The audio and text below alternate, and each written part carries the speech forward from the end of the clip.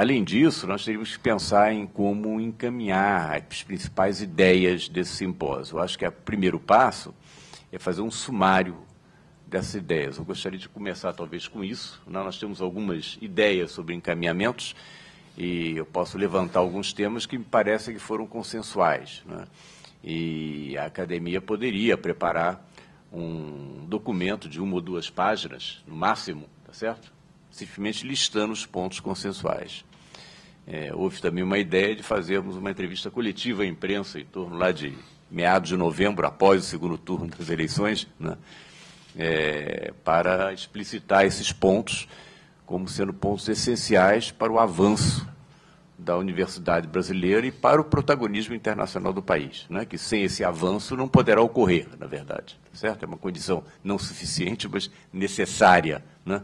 para o protagonismo internacional do país. É, então, uh, nós podíamos começar, digamos, com um sumário da, da reunião, se vocês concordarem. Eu vou, eu vou, começar a levantar a bola, vocês, por favor, me ajudem. E, né? Disso, Sim. Pois não. Uma pequena observação. Ah, eu acho que, além de ah, fazer o, criar uma oportunidade junto à imprensa, ah, seria bom também levar o documento ao Ministério da Certamente, Educação. é. Mas Nós temos muito ah, trânsito, estamos sempre dando, entregando documentos. Aos dois ministérios. Isso. Perfeito. Eu acho que é importante também Isso. a ação junto às autoridades, independentemente de ah, o governo atual ser reeleito ou não. Uhum, Isso. Perfeito, perfeito. Muito bem. Então, é, eu acho que eu vou fazer um brevíssimo sumário, vocês, por favor, me complementem, enfim. É, eu acho que nesses três dias nós assistimos, assim, a, no meu entender, foram assim, excelentes palestras, agradeço a todos os palestrantes, agradeço aos que participaram do público também com questões muito relevantes, né, e palestras que nos permitiram, de um lado, refletir sobre problemas do sistema atual no Brasil, apontar caminhos e, ao mesmo tempo, né, é, refletir sobre exemplos internacionais, que são muito importantes e, de fato, não estamos aqui num país isolado no mundo, muito pelo contrário, né, e precisamos refletir sobre a experiência dos outros. E tivemos essa oportunidade graças à presença dos nossos ilustres palestrantes eh, internacionais. né. É, entre, ah, quer dizer, tivemos eh, críticas extremamente pertinentes ao sistema e daí surgiram algumas propostas. Há alguns temas que me parecem consensuais, pelo menos eh, que nós ouvimos repetidas vezes essas questões serem levantadas durante esses três dias. Uma das questões que foi eh, repetidamente levantada foi a questão da gestão, né? a gestão das instituições de educação superior. E, e- e, por outro lado, dizer, no Brasil nós já temos uma diversidade de mecanismos, por exemplo, de escolha de dirigentes. Basta ver que os institutos do MCT têm comitê de busca, né? e não tinham antes. Então, isso foi uma inovação. Né? Temos também já modelos diferentes de, de instituições. Temos, por exemplo, o IMPA, né, o CNPEM, como organizações sociais, e temos novas organizações sociais que apareceram recentemente durante o mandato do ministro Marco Antônio Halpe. Os colégios técnicos, que são absolutamente essenciais, se eles querem virar pós-graduação daqui a cinco anos, nós perdemos o colégio técnico e perdemos a, a pós-graduação também. E, portanto, a missão das universidades, a missão dos colégios técnicos, a missão de todo o componente do sistema tem que ser clara. Isso me leva ao, seguinte ponto, que óbvio. A gestão do sistema diferenciado tem que ser compatível não com a democracia formal, que eu não tenho ideia o que, que quer dizer, mas com a missão do sistema. E como sistema diferenciado, é perfeitamente possível que os modelos de gestão difiram em parte do sistema. O modelo de gestão, e eu não estou falando só de eleição do reitor, eu estou falando de gestão do sistema. Depende da missão de cada parte do sistema. E, portanto, não podemos ter, para um país do tamanho do Brasil, regras iguais para as coisas que são não iguais. E as universidades de pesquisa, que quizá tenha 20, podem ter um sistema de gestão diferente das outras. E os colégios técnicos também podem ter um sistema diferente. E o sistema de ensino de dois anos também pode. A diferenciação do sistema inclui o reconhecimento que a gestão tem que ser compatível com a missão. Outro ponto que ficou claro em muitas apresentações, que a excelência não exclui a inserção social, que é um ponto que a comunidade trata com muita dificuldade. Mas se a excelência exclui a inserção, eu não sei para que, que temos excelência, se não temos inserção. Outro, outra, para mim, tema que já foi dito, mas eu vou repetir de uma outra forma, um pouco mais, quizá um pouco mais geral, os currículos todos têm que mudar de século. Quer dizer, nós não estamos no século XIX, apesar que muita gente não pensa assim. No século XXI, o currículo da universidade, não vou dizer qual, do século XIX, que não mudou até hoje, não é sustentável. E por que, que é tão difícil? Porque as corporações que privatizaram a universidade pública são brutalmente conservadoras porque são corporações. Não são conjuntos, não são conjuntos de intelectuais, não são conjuntos de criadores, são corporações de defesa de interesses. Nada contra que a corporação defenda os seus interesses. Mas numa universidade de excelência, a corporação não é aceitável. Os currículos têm que mudar de século. E por último, nós vamos ter que definir conjuntamente, com muito cuidado, o que que nós todos consideramos como impacto. Impacto não pode ser exclusivamente relative citations per paper. Impacto tem um impacto intelectual absolutamente essencial para a ciência, especialmente para a ciência fundamental, mas temos que considerar como impacto de cada uma das nossas dos nossos componentes do sistema impacto intelectual, impacto social e impacto econômico porque senão estaremos vivendo fora do país. Eu acho que, para mim, esses pontos e todos os outros que foram mencionados podem resumir consensos. E uma coisa que a academia procura e consegue com certa facilidade são consensos. E me parece que nesses três dias a discussão tem chegado não só a apresentações brilhantes, mas a consensos curtos e claros. Isso permite aquilo que o uh, senhor presidente, que senta na cadeira especial branca e tal, uh, diz a formulação de um documento que seja público, que tem que ser apresentado para o governo, independente qual governo seja, mas também tem que colocar para a sociedade o que que essa academia pensa quando pensa em ensino superior. Isso aí, muito bem. Eu concordo que existem outras áreas em que também né, a questão de, de profissionais é importante. Agora eu peço, encarecidamente, ponham isso global e façam um índice, particularmente para a engenharia, porque isso é risco público. É, é. é risco público. É, risco físico. Físico né? risco de vida. Né? Existem outras soluções no futuro, mas agora isso é absolutamente essencial. Né? Então, acho que tem. Eu concordo contigo, é isso mesmo, mas eu gostaria de ver isso destacado para a área de engenharia. Será que, eu insisto, será que é só engenharia? Não, não, mas acontece que você fala isso. Não, engenharia sim, eu, eu não tenho dúvida. Outra, medicina já é contemplada. Não, não, não sei, medicina é contemplada?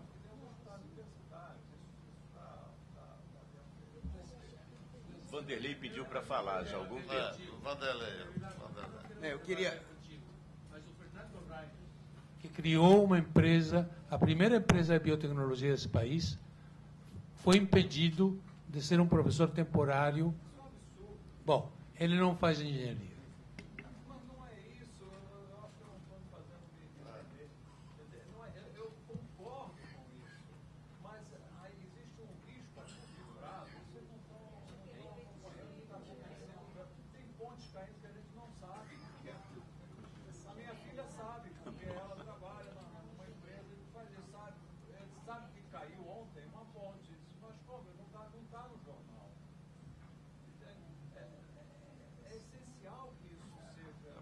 Falar em geral, vou poder mencionar também a área de engenharia, não tem problema nenhum, como um exemplo.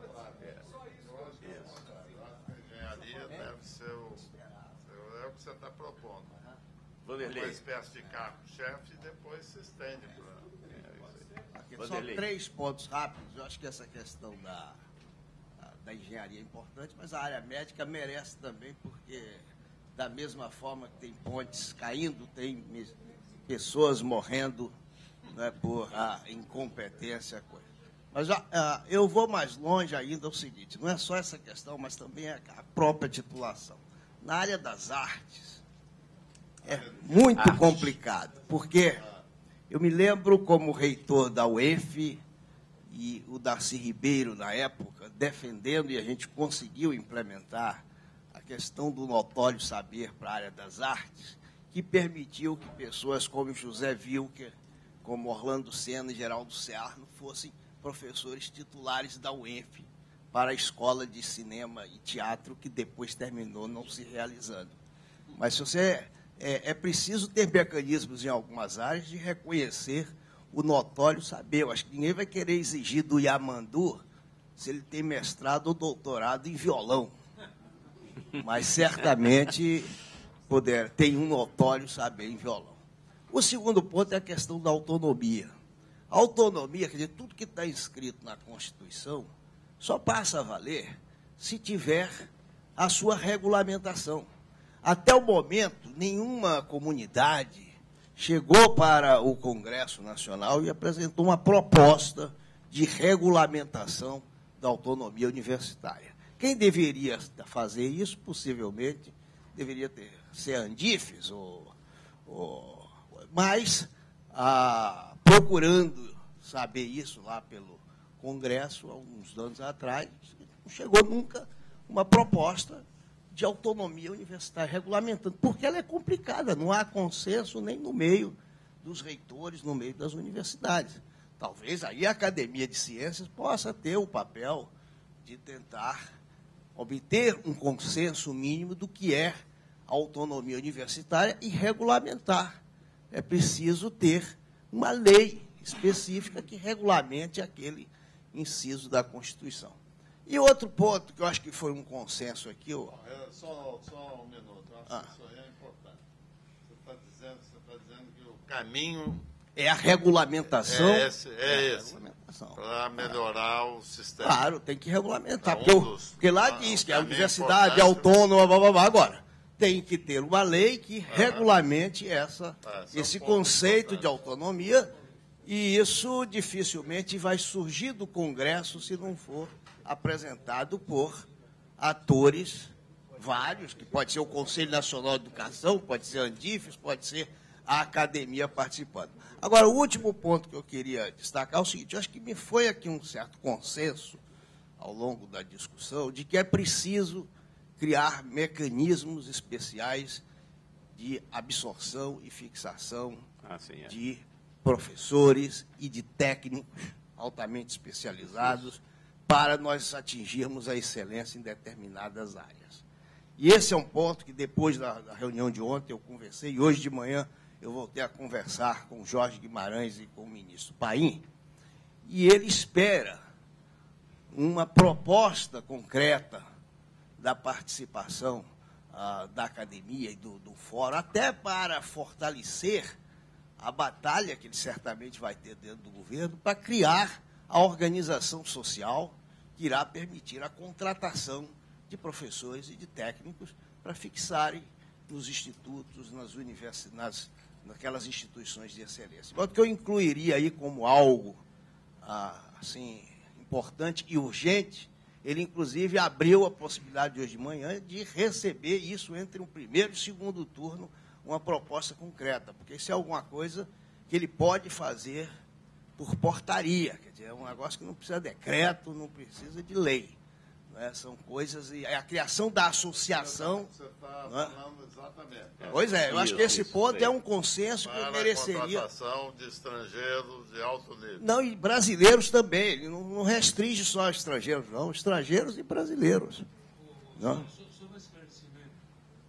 Vanderlei, uh, nós estamos falando de organizações sociais ligadas às universidades. Não. Não. Proposta dele, proposta uma do única, Ministério é uma única organização social nacional, nacional que é um que surge a partir das associa, de associações de várias entidades. Hoje mesmo nós lá em reunião no Imetro, nós decidimos que o Imetro poderá virar ser uma dessas entidades que se associarão com a Academia de Ciências ou com não sei quem para constituir essa organização social.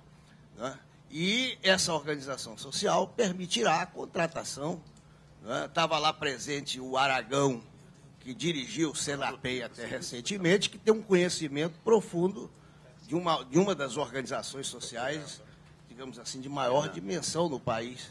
E certamente com a experiência do IMPA, eu acho que Senapei e IMPA são as duas, talvez, maiores da nossa. Porque a Embrapia é nova, ainda está começando.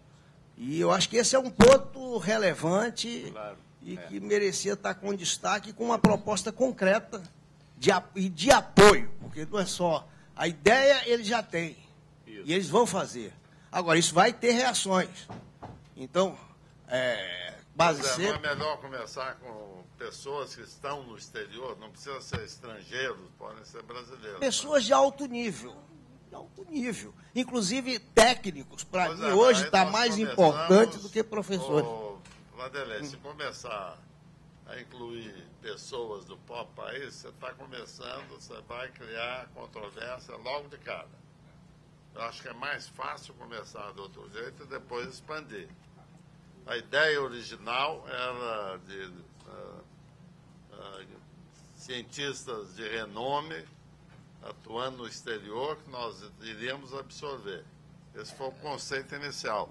Eu acho que é mais prudente. Pode ser, já é uma questão de, de, de é, estratégia. De estratégia né? eu, eu, por exemplo, defendo fortemente, porque a área experimental brasileira, seja da física, da biologia, hoje o nosso grande gargalo são técnicos.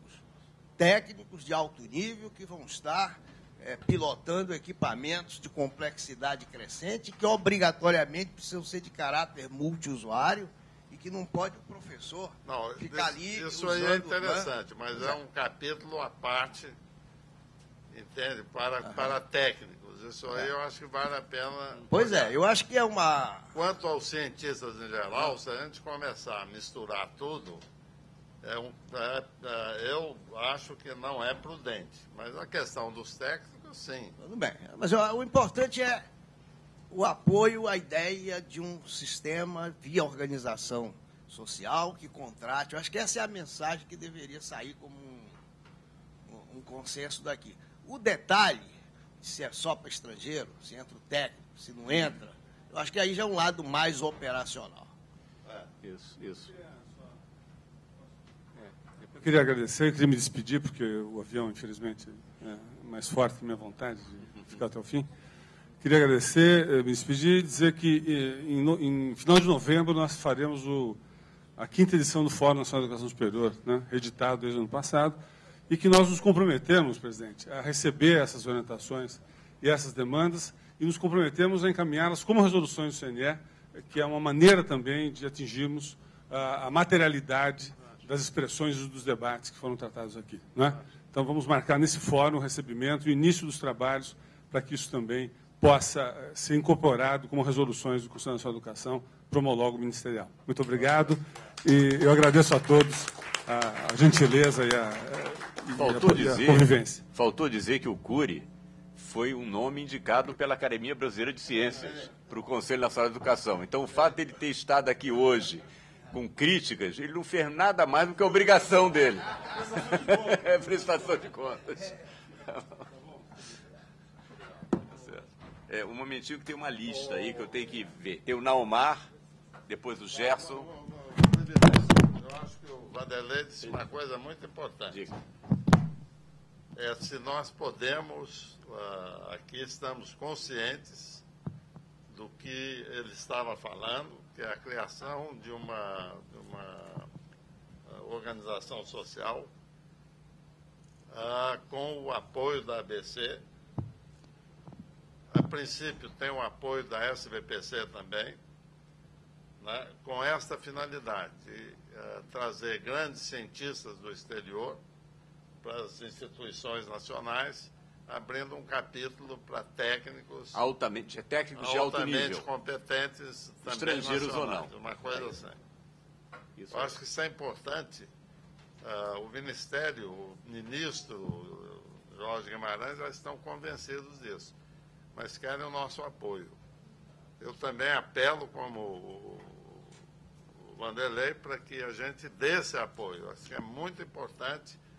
É uma, é uma tentativa ousada, mas sem ousadia a gente não anda, né, no sentido uh, de trazer, sem muita burocracia, aliás, sem burocracia, uh, pessoas de alto nível, uh, vamos focalizando de maneira mais fácil a, a classe científica para, para o país. Alocando-os nas diversas instituições sem burocracia, não é concurso em, português, né, não criar não criar isso, porque a contratação vai ser CLT. Então não, não tem concurso, não tem que fazer concurso. Tem que passar pelo crivo né, dessa entidade que vai passar pela ABC, com certeza, né? talvez a SBPC também, não sei. Aqui é muito fácil. Aqui a academia tem a mágica, ninguém, ah, dependendo da, da, da, da ah, do assunto, eh, nós podemos ter um comitê de altíssimo nível, né? sem dúvida, e ninguém diz não para a academia. Isso é uma coisa que é muito importante assinalar. Eu sou testemunha disso. Ok, então, Naumar, da lista aí. É, uma das coisas que eu achei mais interessante, talvez tenha passado despercebido, na apresentação do reitor Sérgio Bravo, foi aquele item referente à, à legislação e política. E acho que a gente é, tem se segurado é, em interpretar mais diretamente o conceito de autonomia e tem esperado uma regulamentação desse conceito de autonomia. Vou só dar um exemplo. No tal estatuto que eu estava falando sobre o processo eleitoral, nós incluímos lá é, o corpo docente é formado por um quadro ativo de servidores, etc. e tal, e um quadro docente complementar. Está no estatuto o CURI já saiu, mas o estatuto tá, nosso está lá no CNE. Se for homologado, é, nós teremos legalmente, dentro da autonomia que a Constituição nos dá, a capacidade de reservar as vagas, as 617, é nós pretendemos... Sem passar pelo Congresso. Sem passar pelo Congresso. Nós pretendemos as 150 das 617 vagas deixar sempre aberta porque o dispositivo de professor visitante já está regulamentado. Ah, é São contratos de dois anos, renováveis por mais dois anos. Não é restrito a, a estrangeiro, pode ser nacional. E se tiver gente aqui interessada em ser professor visitante na nossa Universidade do Sul da Bahia, é só conversar comigo agora. Isso. Não, é, é recrutamento é isso. Tá. É, só só, só concluindo esse aspecto aí. Vanderlei, para que a gente dê esse apoio. Acho que é muito importante. É uma, é uma tentativa ousada, mas sem ousadia a gente não anda, né, no sentido uh, de trazer, sem muita burocracia, aliás, sem burocracia, uh, pessoas de alto nível vamos focalizando de maneira mais fácil a, a classe científica para, para o país. E alocando-os nas diversas instituições sem burocracia, não é concurso em, em português, né, não criar não criar isso, porque a contratação vai ser CLT. Então não, não tem concurso, não tem que fazer concurso. Tem que passar pelo crivo né, dessa entidade, uh, que vai passar pela ABC, com certeza, né, talvez a SBPC também, não sei. Aqui é muito fácil. Aqui a academia tem a mágica, ninguém, uh, dependendo da, da, da, da do assunto, é, nós podemos ter um comitê de altíssimo nível, né, sem dúvida, e ninguém diz não para a academia. Isso é uma coisa que é muito importante assinalar. Eu sou testemunha disso. Ok, então, Naumar, a lista aí. É, uma das coisas que eu achei mais interessante, talvez tenha passado despercebido, na apresentação do reitor Sérgio Bravo, foi aquele item referente à, à legislação e política. E acho que a gente é, tem se segurado é, em interpretar mais diretamente o conceito de autonomia. E tem esperado uma regulamentação desse conceito de autonomia. Vou só dar um exemplo. No tal estatuto que eu estava falando sobre o processo eleitoral, nós incluímos lá é, o corpo docente é formado por um quadro ativo de servidores, etc. e tal, e um quadro docente complementar. Está no estatuto. O CURI já saiu, mas o estatuto tá, nosso está lá no CNE. Se for homologado, é, nós teremos legalmente, dentro da autonomia que a Constituição nos dá, a capacidade de reservar as vagas, as 617, é nós pretendemos. Sem passar pelo Congresso. Sem passar pelo Congresso. Nós pretendemos as 150 das 617 vagas deixar sempre aberta. Porque o dispositivo de professor visitante já está regulamentado. Ah, é São contratos de dois anos, renováveis por mais dois anos. Não é restrito a, a estrangeiro, pode ser nacional e se tiver gente aqui interessada em ser professor visitante na nossa Universidade do Sul da Bahia, é só conversar comigo agora. Isso. Não, é, é recrutamento é isso. Tá. É, só, só, só concluindo esse aspecto aí. Isso diz respeito também a outra questão que foi aqui trazido. Esse quadro docente complementar também é, é, será regulamentado, a gente já está fazendo isso, para o, o, isso que se chama notório saber, que é uma, uma questão até mal resolvida, mas é a universidade poder é, é, fazer credenciamentos na graduação. O credenciamento já existe na pós-graduação. Por que, que não tem na graduação? É porque os dispositivos internos das universidades é, é, é impedem que isso seja feito ou melhor, não existem. E o fato de não existir, é, Bevilacqua está dizendo que eu, eu, tenho um segredo, é que eu tenho uma, uma, uma consultoria jurídica muito próxima né, na, é, na família. O, é, o, direito administrativo é muito próximo. O direito administrativo, o que não está, é, o que não consta é proibido. É. Se não é proibido, pode. Não, não, não, não, não, o contrário, o contrário então, por que é que as universidades não fazem essas coisas? Porque nos seus dispositivos internos, isso não está previsto. É o oposto do, do, do é. direito penal. Então, é, é, se a gente esticar o conceito de autonomia, é possível você incluir nos dispositivos da universidade uma série de medidas que, teoricamente, é, elas são proibidas pelo fato de não estarem previstas simplesmente. Então, eu acho que a, a, a, Academia Brasileira de Ciências poderia fazer um belo trabalho fomentando uma revisão desses elementos jurídicos e institucionais para que a autonomia seja exercida tal como prevista na Constituição. E se houver alguma, algum questionamento, a Academia Brasileira de Ciências pode entrar com uma ação direta de inconstitucionalidade do questionamento que seja feito, porque isso é Supremo Tribunal. É interpretação direta da Constituição. Está bem assessorado. lógica aí está comprometida, mas se é seu caminho, é. A academia já foi o Supremo na questão das células troncos. Né? Estava representada lá e ganhamos, ganhamos. Eu queria falar Heitor. uma coisinha a mais, porque o, o nosso amigo conhece bem esse problema da autonomia. O Conselho de Reitores, há muitos anos, vem discutindo. Eu fui membro do Conselho em várias épocas. Tem bastante material já preparado que pode ser repensado, repescado, vamos dizer assim, para mostrar. Segundo, que a nossa legislação. Eu fui reitor, o primeiro reitor da Universidade Federal de São Carlos. Qual era a diferença dela das outras? Era uma fundação. Eu, então, no MEC, o consultor jurídico do ministro da Educação objetou matando o nosso estatuto. Não pode.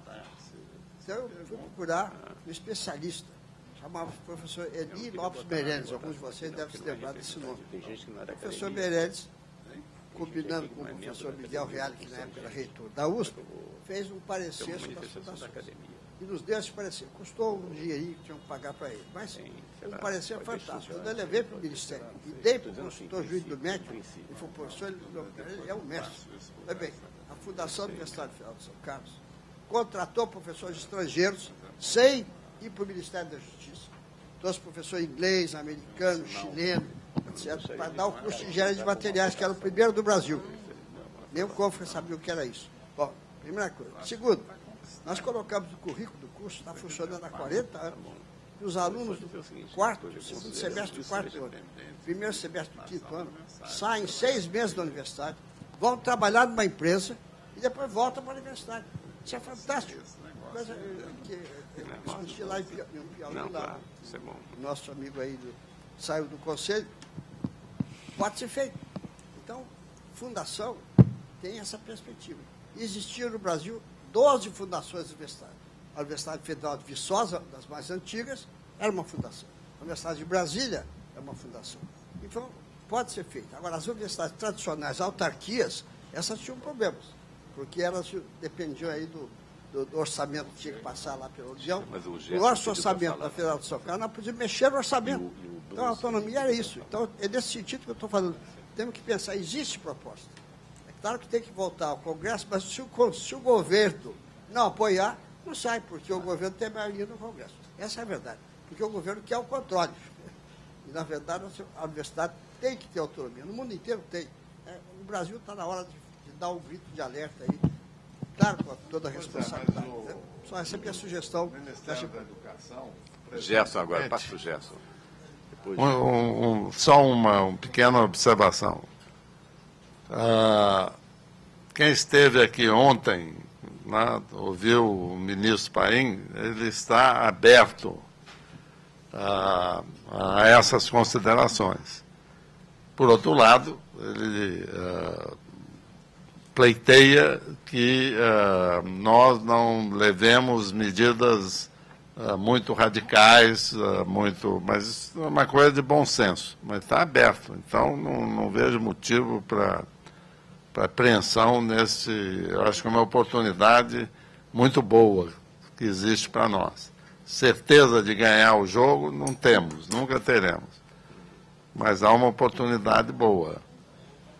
Gerson. Bem rápido, então. Primeiro, a questão da, da OS. Eu acho que essa OS, acho que o Renato também falou agora, essa OS deveria estar ligada aqui à Academia Brasileira de Ciência. E, e, e Vanderlei, acho que eu, eu acho que de, teria que ser só para professor radicado fora. Essa primeira OS. Eu acho que se teria, além do, do Ministério, acho que os estados teriam o, o, o Tandy, o secretário estadual, por exemplo, ele ele perguntou o que, que a gente pode fazer nesse sentido, de trazer as pessoas. Então, obviamente vai precisar de recursos, né, Vanderlei? Então, se puder trazer recursos também do Estado, acho que isso é importante. E, e a questão do técnico, eu acho que pode ir no mesmo caminho, mas de forma separada, senão a gente corre risco de não fazer nenhuma nem outra. Então, eu acho que focada na questão do, do professor estrangeiro é ótimo. E o segundo ponto, na realidade, era o, que eu tinha me inscrito, é, a gente viu que as 20 universidades é, top, é, elas têm, no Brasil, elas têm duas coisas. Ela tem excelentes cursos de pós-graduação, mas também ela tem uma quantidade enorme de alunos.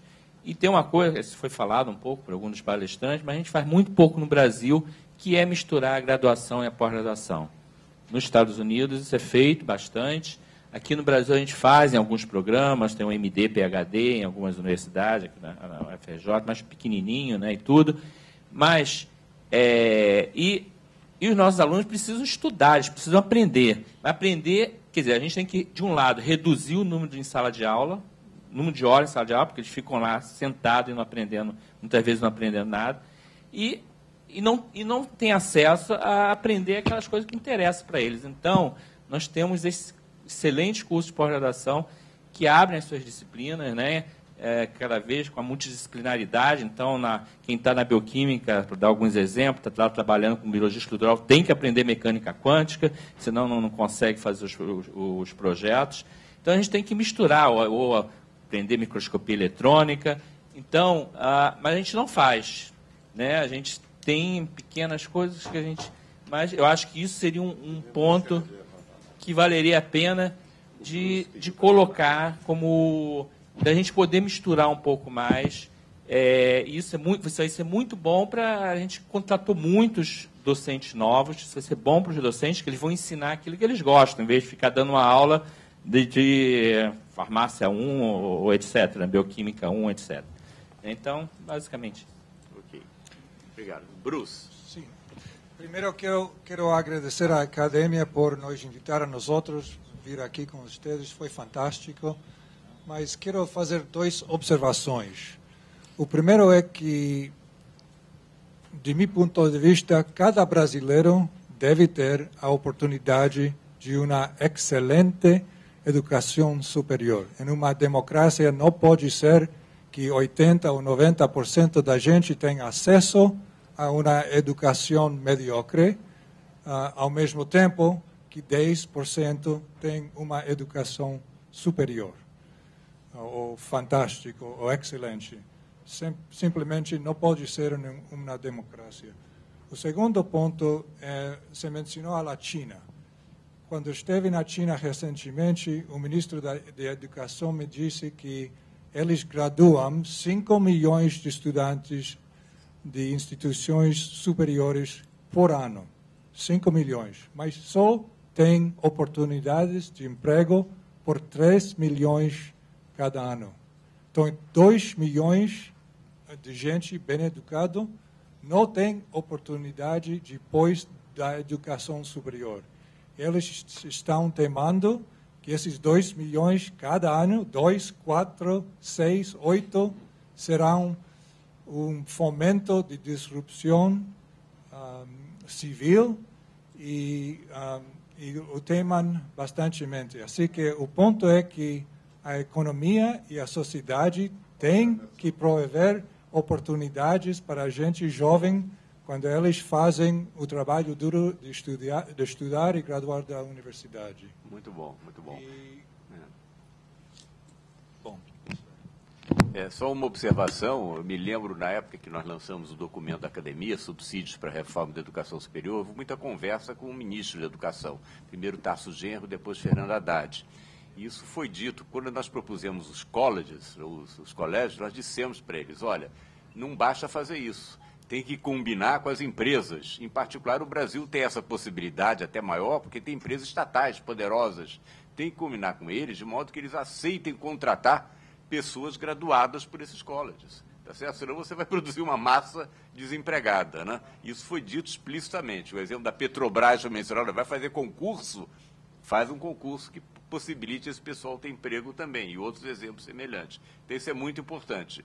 Não é o que tem sido feito mas realmente é importante fazer. É uma observação muito pertinente. Perdão, sou português.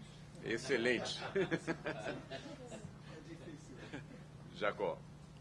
É, deixa eu uh, esclarecer a minha visão sobre essa questão da OS. E nós temos discutido uh, já com Jorge Guimarães, Helena Nada, etc., ainda não, não foi aberto o processo, mas uh, várias conversas já ocorreram. a academia não pode ser uma OS.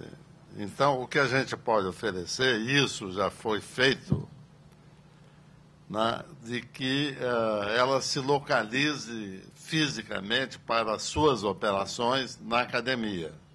Mas isso é diferente né, de estar uh, ligada à ABC. É diferente de participar da ABC. Eu vou circular isso para todos os acadêmicos, é claro, como tudo que a gente faz aqui. Mas uh, eu vou também uh, defender o ponto de que é, é, uma, é, uma, é uma ação muito importante para toda a sociedade brasileira, para as universidades brasileiras, os institutos brasileiros. Então, eu vou sair em defesa, mas eu tenho que submeter a todos os acadêmicos. Mas então, isso aí já está muito claro. Uh, não é uma questão de que a academia não vá participar dessa OS, ela vai com muita força. Mas ela não pode ser transformada numa OS. Tá certo? Não, não faz sentido. Assim como você tem uma outra entidade que o ministro uh, admira muito e quer que participe, isso quer dizer participar do Conselho de Administração seria o ímpar. Não faz sentido. O ímpar já é uma OS, vai, vai ter uma OS, não, não, não tem pé na cabeça. É a mesma coisa a SBPC. Então vamos esclarecer as coisas. No momento estão previstas, isso aí deve crescer, deve, estão previstas algumas participações. Que eu me lembro, além de representantes do próprio governo, uh, estão aí uh, a ABC, a SBPC e o INPA. Isso quer dizer que cada uma terá um, representante no Conselho de Administração, que é o que gere a OS.